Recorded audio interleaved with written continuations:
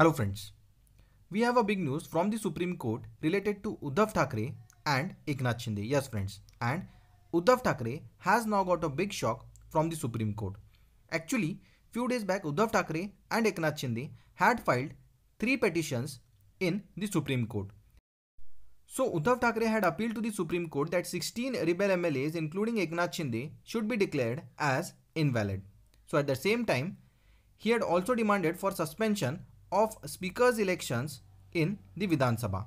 So on the other side, Eknath Shinde had demanded to stop the disqualification of the 16 rebel MLAs and news is that yesterday hearing was done regarding this in the Supreme Court and three judge bench of Supreme Court heard this matter.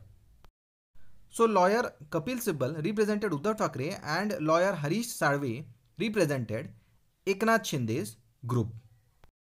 So Hari Salve said that the party changing law does not apply and it only applies when someone leaves the party. And in this case, no one has left party. Hence, party changing law does not apply here. So, both the lawyers kept their arguments in front of the court.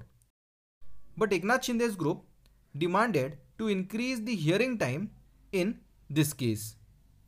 So, Uddhav's lawyer opposed this and now Supreme Court has given a big decision in this matter.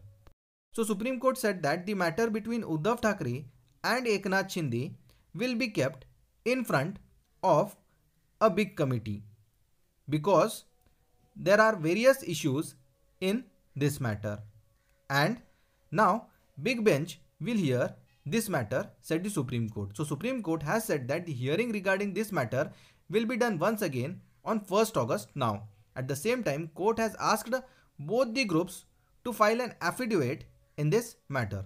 So after the decision of Supreme Court, Maharashtra Deputy CM Devendra Fadnavis has now said that our matter is strong and decision will be given on our side. And finally, victory will be ours, said Devendra Fadnavis. So now hearing will be done regarding this matter in the Supreme Court on 1st August. So friends, now we have to see what decision the Supreme Court takes in this matter on 1st August. So friends, as soon as I get more information in this matter, I shall let you know. Till then, stay connected for more updates. Thank you.